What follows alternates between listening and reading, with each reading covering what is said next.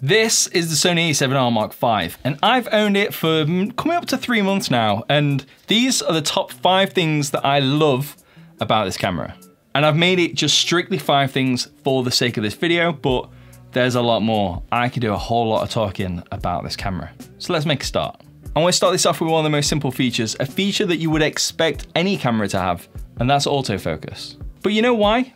This camera has the best autofocus I've ever experienced. In any camera I've owned, tested, rented, just, just had a go with.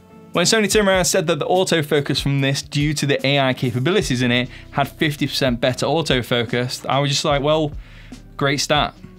And what? But using it, well, it's not just good, it's just, I don't know, like, it's sick. And the A7S which I'm using right now, which I've loved for like the last 18 months, two years.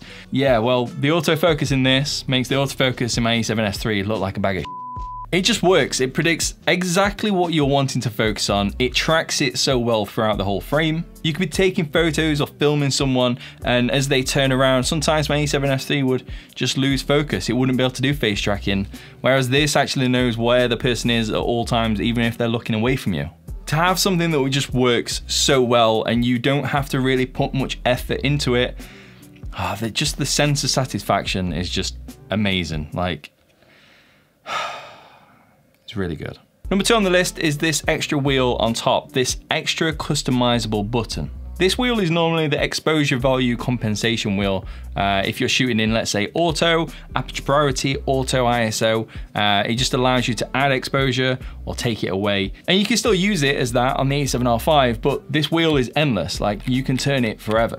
And because of that, you can go into the customizable settings and assign this to be anything you want. So I set mine to ISO. Normally it's on the back wheel and I have to move my thumb and turn it around. Uh, but now I have my ISO, my shutter speed, and my aperture all around my thumb and my finger. So I don't really have to move any of my hand at all. The endless wheel, I don't even know if they're called that, but I think they are.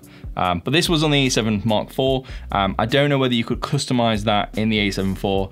Uh, if you can, then great, but you definitely can the A7R Mark V, um, and it's it's great. If you don't want to use it for ISO, you can just assign it to whatever you want. But the point I'm trying to get across is because we probably use cameras in a fast-paced, busy environment, and you're wanting to get things done efficiently, having everything there is just really convenient.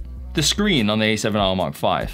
I've mentioned it a couple of times in my videos, and uh, I won't lie, I'm not a massive fan of it. In terms of reviewing what you've done on the camera, on the back of the LCD screen, I, I personally don't think it's the best quality.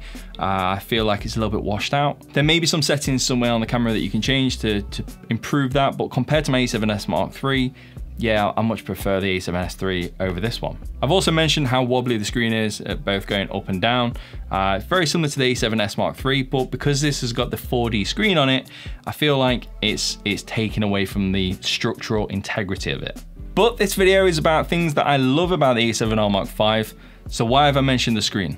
On my A7 III and older cameras before that, like the A7 I, this is, this is like prehistoric now the screen used to be able to pull out. And that was really good because if you're wanting to hold the camera close to your body and then look down at the screen, say if you're wanting to do some filming, it's really convenient to do that. But for me, when it came to making YouTube videos and wanting to see yourself so you can get the exposure right, a screen which you couldn't actually flip around was not really working for me. So when the A7S Mark III came out and Sony added the flip out screen, which I'm using right now, it made things so much better for people like me who make YouTube videos. But annoyingly, when you're wanting to monitor the audio using headphones and you have the headphone jack in, I know this is the A7R Mark V, but just for demonstration purposes, when you pull the screen out, you can't turn it.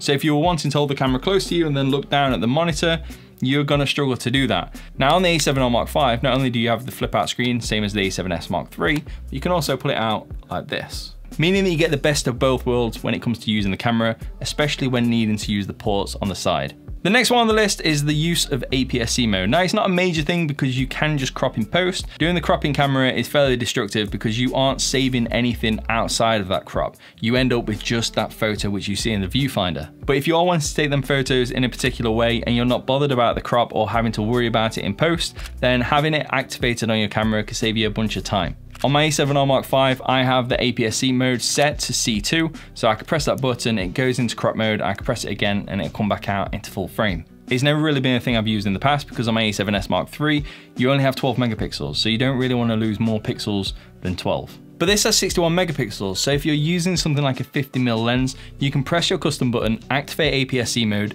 let's say that 50mm lens goes into an 80mm lens, and with the camera still having around 26 megapixels when in APS-C mode, it's still plenty for most applications. So nothing is really out of reach when it comes to the a7R Mark V, you could do so much with it.